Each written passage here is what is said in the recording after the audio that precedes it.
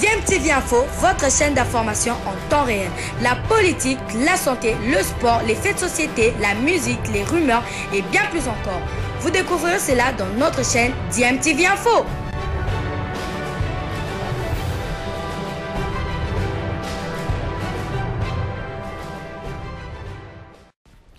Vous êtes sur DMTV, bonjour euh, ou bonsoir, tout dépend de l'heure à laquelle euh, vous nous suivez. Tout plaisir est pour nous de vous retrouver, mais surtout de savoir que vous êtes nombreux en train de suivre votre chaîne YouTube euh, DMTV, DMTV qui vous propose l'actualité, mais vous propose aussi des analyses et des réflexions sur des sujets d'actualité, sur des faits sociaux ou tout simplement des réalités que nous observons ici chez nous en République démocratique du Congo. L'actualité, c'est les éliminatoires de la Coupe du Monde Qatar 2022 qui débute pour la RDC le jeudi 2 septembre euh, prochain, d'ici euh, quelques deux jours. Hein, ce sera du côté de Lubumbashi que la RDC va devoir accueillir les Taifa Stars de la Tanzanie pour le compte de cette première journée avant de se déplacer pour euh, affronter pour le compte de la deuxième journée les écureuils du Bénin. Ce sera le 6 septembre à Cotonou. Et pour cette rencontre, les Léopards sont en train d'arriver. L'équipe est quasi complète. Hein. Il ne reste que ceux qui doivent arriver ce euh, mardi 31 août 2021. Trois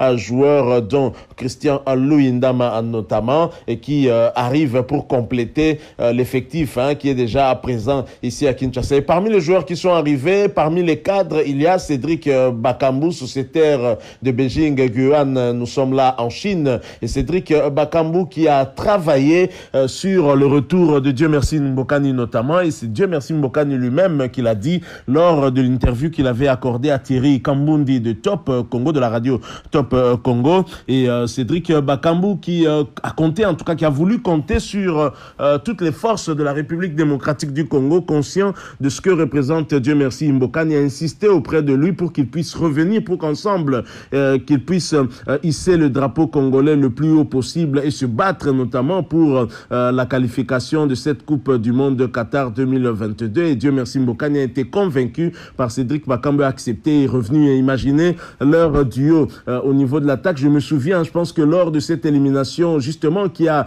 a fait que Dieu merci Mbokani puisse, puisse quitter, euh, quitter en tout cas l'équipe nationale et prendre en quelque sorte sa retraite hein, euh, internationale ou du moins mettre une pause à sa carrière internationale. Il y a ce duel, ce duo, pardon, qu'on a eu à vivre lors du match, je pense, contre le Ghana et on a senti, hein, en tout cas, que ça pouvait apporter quelque chose. Et Cédric Bakambu sait euh, que leur duo en attaque peut être un duo euh, mortel pour euh, les adversaires. Hein. Voilà pourquoi il a insisté pour que ce dernier puisse revenir, alors que d'aucuns pouvaient penser que du fait qu'ils sont tous avant-centre, Cédric Bakambu, pour éviter la concurrence de Dieu merci Mbokani, aurait peut-être préféré qu'il ne soit pas là. C'est vrai que ce ne sont pas deux avant-centres de même style. Hein. Ils peuvent être complémentaires. Et ça, c'est une très bonne chose. On sent que Cédric Bakambu a de l'envie. Il veut booster cette équipe, il veut amener cette équipe beaucoup euh, plus loin. Et euh, l'objectif, bien évidemment, reste cette qualif pour la Coupe du Monde. Et ça passe par ce groupe J euh, qui, que nous partageons avec le Madagascar, le Bénin ainsi que la Tanzanie. Il faudra être premier.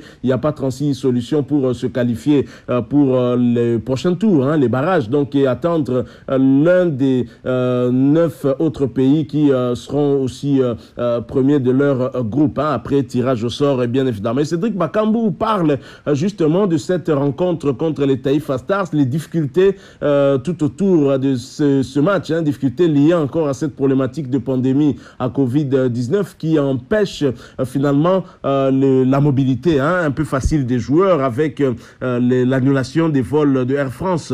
par exemple, ça a mis, ça a mis en cas en difficulté notre pays. Hein. Je ne sais pas si d'autres ont pris d'autres dispositions, mais pour ce qui concerne la République démocratique du Congo, on est très en difficulté. Cédric Bakambu est revenu sur euh, cette euh, question-là. Il s'exprime euh, bien évidemment sur ce match contre la Tanzanie et comment l'aborder. Et bien évidemment, je vous propose de l'écouter. Ensuite, nous allons nous retrouver pour conclure ce sujet, tout en vous rappelant bien évidemment aussi que vous êtes sur DMTV et si vous êtes nouveau ou ancien mais que vous ne vous êtes pas encore abonné, ben, n'hésitez pas, abonnez-vous s'il vous plaît. N'oubliez pas d'activer la notification en cliquant tout simplement sur cette petite cloche qui vous permettra de ne plus rien manquer des prochaines vidéos que nous allons vous proposer Suivant euh, Bakagol, Cédric Bakambu, nous nous retrouvons tout de suite après. Football, euh, la République démocratique du Congo est concernée, vous le savez, la RDC est restée sur le goût d'inachevé, ne sont pas qualifiés pour la Coupe d'Afrique des Nations football.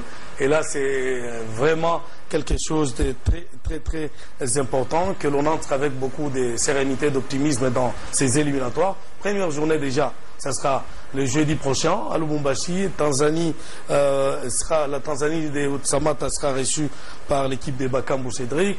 Et que vous avez eu déjà à interroger hier, tu as été avec euh, Cédric Bakambou. C'est quoi son sentiment de revenir d'abord à l'équipe nationale? Comment il a appris cette nouvelle? Un garçon euh, très très professionnel parce que euh, personnellement j'étais très inquiet du fait qu'il y avait plusieurs défections parce que quelques jours avant on nous a annoncé les arrivées de plusieurs joueurs et puis après on, vous dit que Ikoko ne sera pas là, on vous dit que Kebano ne sera pas là, on vous dit que Yohan Wissa qui carbure du côté de la première ligue, eh bien tous ces joueurs qui ne seront pas de la partie. Et Mouleka j'étais très inquiet, c'est comme ça que j'ai dû appeler euh, Cédric, et heureusement qu'il était à Paris. Il m'a rassuré, c'était déjà le vendredi, on a longuement discuté avec lui, il m'a rassuré qu'il devrait arriver et qu'aujourd'hui, c'est lui, en quelque sorte, le leader de, ce groupe, parce qu'il prend cette responsabilité, Cédric. C'est comme ça que, évidemment, nous sommes rencontrés avec lui euh, le, dimanche pour euh, ce tournage, évidemment pour Canal+, qui passe ce soir à partir de 21h30. Mais en échangeant avec Cédric, ce qui est vrai, ce qui est important, c'est que vous sentez en lui un vrai leader. Il a vraiment envie de servir la nation, parce que un gars qui arrive aujourd'hui, il a aussi des envies d'implanter son académie de football en RDC. Parce que, au-delà de ça, c'est lui qui a travaillé pour le retour des dieux merci Mbokani Bezois. Mbokani, il a reconnu, il a dit, il a reçu l'appel de Cédric. Cédric a dit, mais c'est le moment, on doit rentrer, on doit travailler pour la nation. Et aujourd'hui, il, prend ce rôle de leader. Mais maintenant, il faut que ça puisse suivre à tous les niveaux. À tous les niveaux, ce qu'aujourd'hui, la sélection de RDC, on doit comprendre que nous nous sommes loupés dans les éliminatoires de la Coupe d'Afrique des Nations il n'est pas question de, diviser ce groupe, il n'est pas question de chercher des petits problèmes. Ce qui est là, c'est l'intérêt suprême de la nation.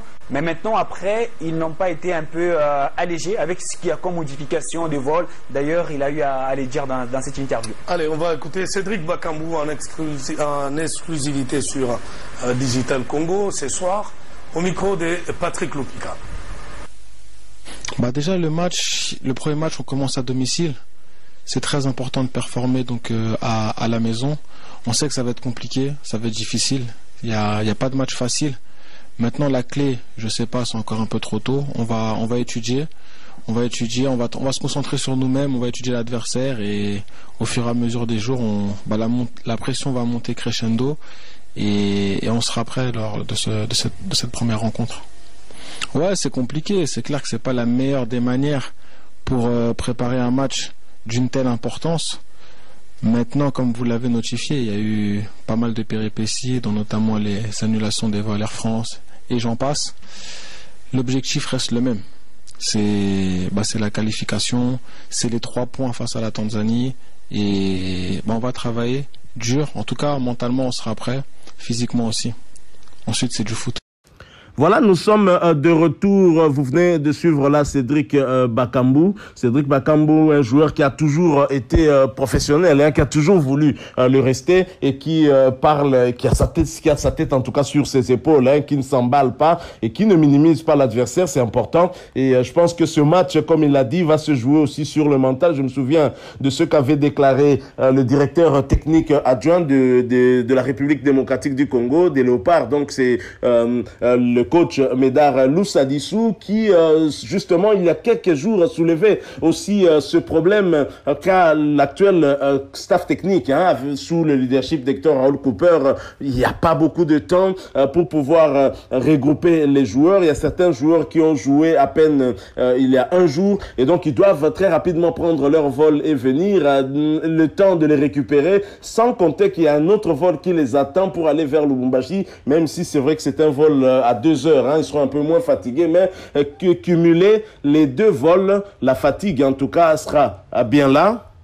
Et donc pour euh, Médard Aloussadi, se disait que c'était un match qu'il fallait euh, aborder avec un mental très fort. Donc c'est sur le plan mental qu'on devait travailler, surtout avec des joueurs euh, expérimentés. C'est ce qui explique aussi cette liste de 24 joueurs d'Hector Cooper avec certains revenants qui sont plutôt des expérimentés et des cadres qui se connaissent parce qu'il n'y a pas de temps pour qu'ils puissent ne serait-ce que s'entraîner avant ce match. Et même pour le match de la deuxième journée contre le Bénin, vous jouez à Lubumbashi, il faudra rallier Kinshasa, puis... Euh, aller vers Cotonou, le temps de récupérer et c'est vraiment compliqué. Donc c'est dans des conditions extrêmement difficiles que les équipes nationales sont en train d'aborder ce match. Hein. Donc je crois que la, le choix qu'a fait Hector Cooper, c'était le choix justement d'essayer de faire le service minimum, c'est-à-dire avoir des cadres qui se connexent. Hein. C'est vrai, greffer quelques nouveaux joueurs qui arrivent, tels que Vital Timba de, de Clermont Foot, mais quand même, c'est ça, quand on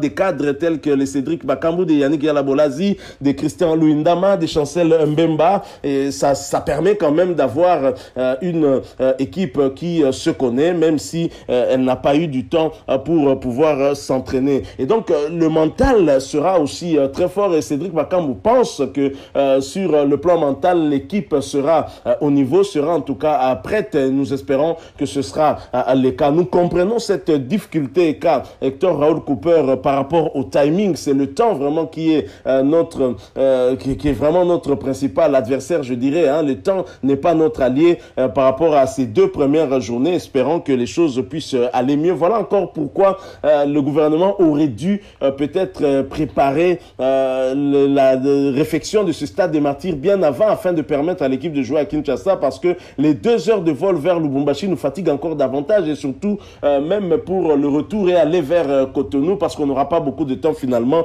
C'est regrettable mais on va pas revenir sur ça parce que c'est trop tard. Maintenant, on n'a pas de choix seul le stade du tout-puissant Mazembe est homologué par la FIFA ainsi que par la CAF. On n'a pas vraiment de choix. Donc voilà ce que nous avons voulu échanger, partager avec vous. C'est cette intervention de Cédric Bakambu en prévision de cette rencontre de la première journée des éliminatoires de la Coupe du Monde 2022 qui va se jouer ici à Lubumbashi. ce sera ce jeudi 2 septembre face au Taifa Stars de la Tanzanie, équipe de Bwana Ali Samanta qui connaît bien le stade tout puissant Mazembe avec son compère Thomas Ulumungu, bien évidemment. Alors si vous avez aimé ce sujet, laissez-nous un maximum de j'aime, likez donc cette vidéo. Merci de partager avec nous votre point de vue en nous le laissant à travers un commentaire.